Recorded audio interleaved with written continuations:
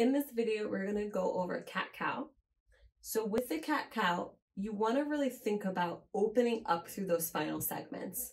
So the way I teach it is to kind of think about coming from the tailbone towards the neck. So you're gonna tuck that tailbone and then think about opening one segment of the spine at a time, pushing through those shoulder blades, and then allowing the neck to hang low.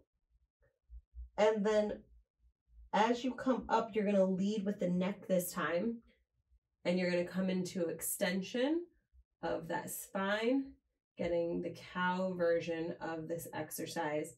Last but not least, the tailbone, okay? So the neck will look up. Same thing going into the cat part of the stretch.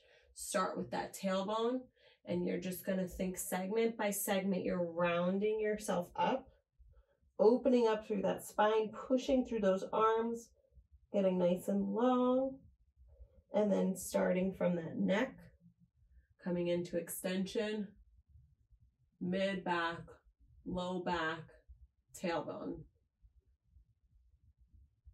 So you can rock through about five or so of those. And this should really feel nice, like you're really opening up through the spine there. No rush with these.